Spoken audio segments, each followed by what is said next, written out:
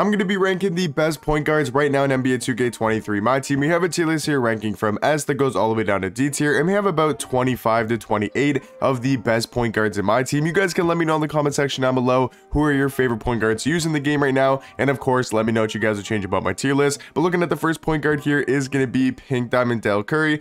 I would say he's probably somewhere in the middle in like B tier. He's a good 6'5 point guard. He's got a 6'8 wingspan. He is going to be a really nice offensive point guard.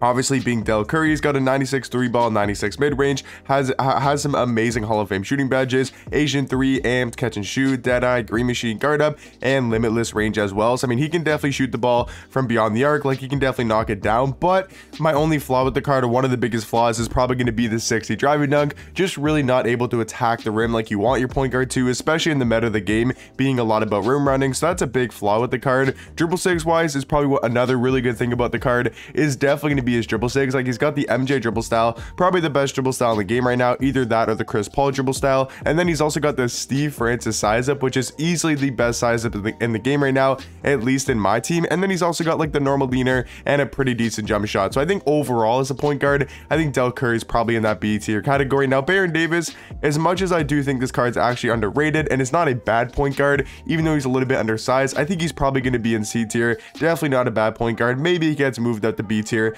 later in the video. Now Pink Diamond Magic Johnson, I have completely changed my opinion on this card. When he first dropped, I thought Magic was pretty bad. I'm not to lie. Like, I did not like this card when he first came out, but the more that I've used him and the more that we've seen this card in like comp games and just in games in general on Unlimited, I've realized that he is legit a top three point guard in the game, maybe even number two. Right now, with a lot of point guards coming out, I think he's probably like number three, maybe even number four, but he's definitely in that S tier category. If you guys don't know, S tier is going to be my top five point guards in the game, and I definitely think Magic is somewhere in that top five because because he's six foot nine with a seven foot wingspan. And that's pretty much it for Magic. I mean, his jump shot isn't great. He doesn't have any really good dribble sigs. He does have the Dame behind the back though, and his movement with the with the Dame behind the back in transition or whenever you're like pushing the ball in the full court it is a really, really good drill move, and you're able to create a lot of space with that behind the back for Magic. So that's really nice to have on the card. And then he's just going to be a six foot nine point guard that does play really good defense. Like I said, nothing too crazy about the card except the fact that he's six foot nine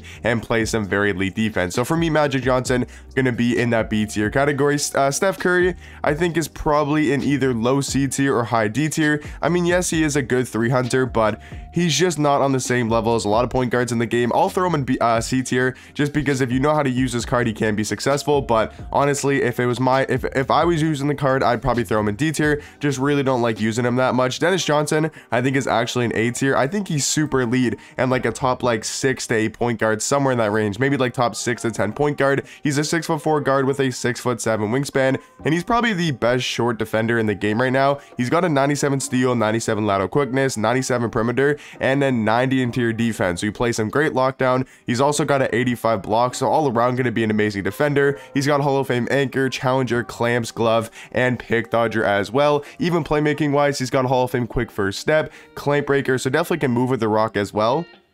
Speed wise, he's pretty fast 95 speed, 95 acceleration with a 89 ball handle and a 95 speed with ball. And then animations wise, pretty underrated about the card is going to be his dribble sigs. Like he's got the MJ dribble style and then he's got the De'Aaron Fox size up and the John Wall escape. That's exactly what like guys like Vince Carter have, you know, for their sigs. And Kevin Garnett has the De'Aaron Fox size up, which is a really good size up in my team right now. So honestly, I think Dennis Johnson probably going to be in that A tier, uh, A tier category.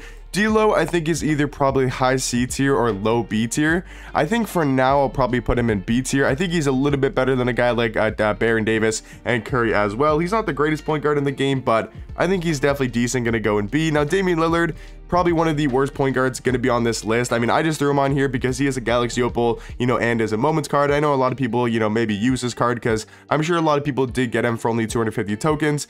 I think Dame, though, probably going to be in D tier. Just really isn't a great point guard. Probably one of the worst on this list. Now, uh, talking about a really good point guard, going from probably the worst to the best point guard is going to be the Galaxy Opal Ben Simmons, even though I don't think this card's necessarily that fun to use, and I feel like it gets really boring, but he is a 6 foot 11 point guard. He has a 7 foot wingspan, and he's just a better version of Magic Johnson because he's a better defender than Magic. He's better going to the rim. He's faster. He's more athletic. The only thing Magic probably has over him is his three ball rating, but jump shot wise, I mean, Simmons has probably got a better release. He's got way better movement. You know, he doesn't have that Dame behind the back, but he's got like the Kobe escape, the MJ dribble style. So for me, I think Ben Simmons is just a taller and faster, at more athletic, you know, just a better Magic Johnson. But both these cards definitely going to be in that S tier category. Luka Doncic probably also going to be in that D tier spot. I think he's absolutely terrible, even though Luka was so good last year. I think maybe later in the year he could be pretty decent, but that pink diamond card I think is on the same level as a guy like Dame. Both are just kind of unusable in my opinion. Donovan Mitchell,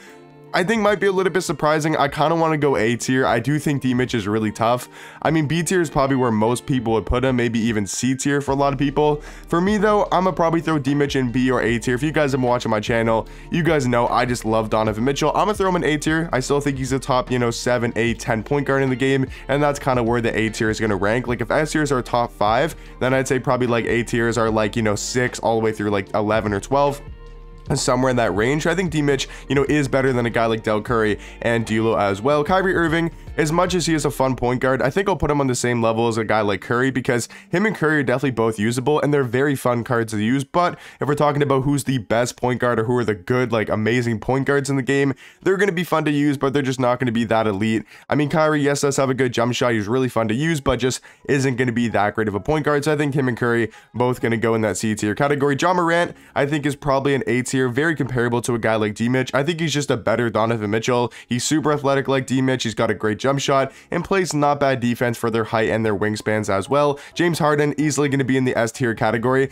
This is probably the most fun card to use in my team right now, even over guys like Tim Thomas, you know, some other really good cards in my team. I'm not saying he's the best card, but he is just so, so fun to use in game. He's got a great jump shot. His SIGs feel like James Harden in real life. His movement super elite. He actually plays solid defense as well, and he pretty much greens from anywhere on the court with that jump shot and it being super fast as well. So for me, James Harden going to be a top five point guard and probably number two behind a guy like Ben Simmons. John Wall, I think, is probably in the B tier category. I would definitely take Ja Morant and D-Mitch over him personally. I think he's kind of on the same level as like a Dell Curry and a D'Lo because he's much better than like the Baron Davis, the Kyrie, and the Curry. But I do think he's probably in B tier. Another B tier point guard, I think, is going to be Jrue Holiday. He is a very good defender. So if you're looking for a defensive point guard, I think Jrue Holiday is one of the better ones in the game, but offensively does lack a little bit. I would say he's probably in B tier. Next one is going to be Jason Kidd. I kind of want to put Jason Kidd in A tier because I think he's actually super elite and very comparable to a guy like Dennis Johnson. I mean, they're basically the same point guard.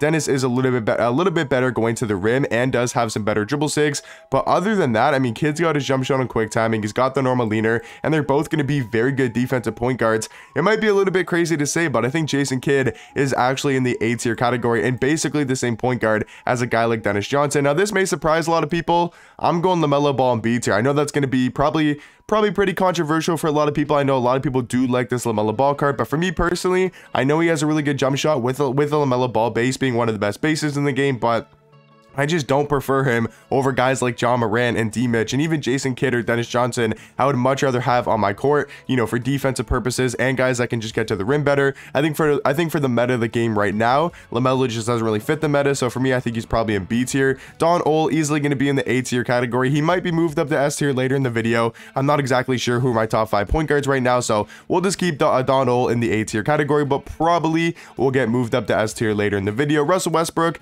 I think is probably either high C tier or low B tier. I think I'll throw him in low B tier for now just because of his rim running ability and he's still one of the best slashers in the game, able to get to the rim, you know, get those and ones, those dunk animations, get a lot of contact dunks. So I think for me, Russ, still probably in the low B tier spot. You can maybe argue though in A. I think Shai though, honestly, I don't really like this card too much. I've used him a lot, right, when he first came out. Like, when he first dropped out, he was like my starting or backup point guard for a while. But Recently, I just have not liked this card too much, and I think he's very similar to a guy like Shai, or I think Shai is very similar to a guy like D'Lo. So for me, I think they're both going to be in the B tier spot. If you wanted to put Shai in A tier, I think that's definitely fair to say. I think for now, though, he'll be in B tier. Maybe he gets moved up to A tier you know, later in the video. Stephon Marbury, I think is just going to be another kind of Jrue Holiday type of point guard, both great on the defensive end, lack a little bit of offense, but I think Marbury's still pretty good and deserving of that B tier spot. Penny Hardaway, I think easily going to be an A tier. Once again, not 100% sure my point guards. So I think for now, I'll keep Penny Hardaway in the A tier category.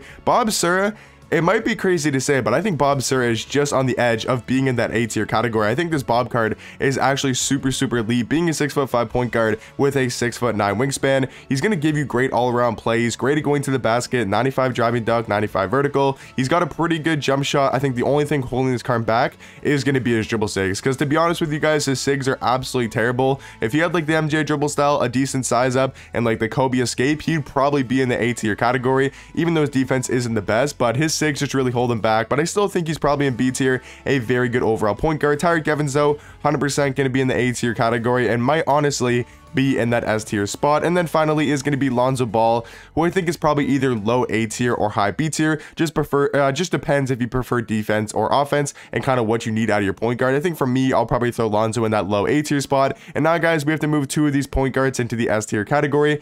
I think for me, it's really just between these four point guards Penny Hardaway, Donald, Tyreke Evans, and Dennis Johnson. You know, Kidd, Ja, and D Mitch and Lonzo are still very, very elite, but these four point guards are just a little bit better. And we got to move two of them up into the S tier category. Now, I don't exactly know who to put.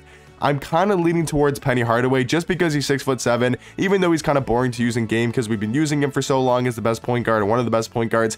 I still think he deserves a top five spot. And then for my last one, I think it's really between Tyreke Evans and Dennis Johnson. And this might be a little bit crazy to say, I think I'm gonna go Tyreke Evans over Donald. That might be a little bit crazy, but he's six foot six, has a great jump shot, and I think he's probably the fifth best point guard in the game. And then I think I'm also gonna move Shai up into the A tier category. But let me know in the comment section down below what would you guys change about my point guard tier list, and I'll catch you guys in the next one. Peace.